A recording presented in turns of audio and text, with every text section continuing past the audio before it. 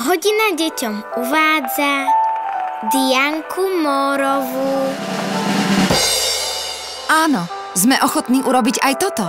Len aby sme vás upozornili na to, že deti Slovenska potrebujú vašu podporu.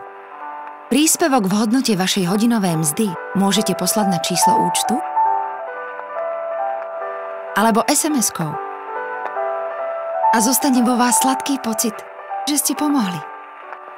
Ďakujem.